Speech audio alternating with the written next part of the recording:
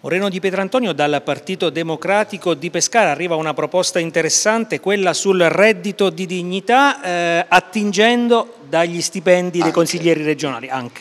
Crediamo a un intervento che sia attorno ai 500 euro al mese, parallelamente creare tutti quei meccanismi che portano alla formazione professionale e poi al graduale inserimento nel lavoro. È un'iniziativa che poi è in tutta Europa e quindi crediamo che debba essere attivata anche nel nostro Paese e anche nella nostra regione. Tutto questo si può fare, si possono trovare le risorse, i consigli regionali eh, hanno uno stipendio di circa 10.000 euro netti al mese, noi chiediamo che venga ridotto del 50% e di portarlo a 5.000 che crediamo che sia anche una cifra sicuramente adeguata per l'importante lavoro che svolgono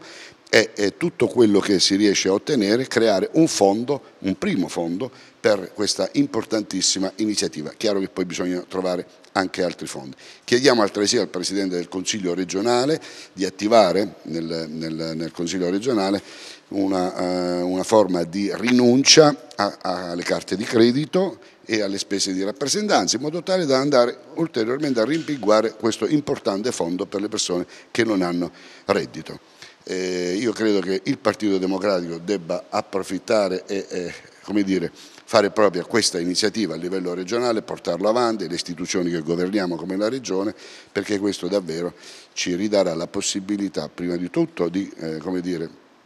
eh, ridefinire ulteriormente essere di centrosinistra e poi soprattutto ci riporterà ad avere una uh, vicinanza di più con le persone.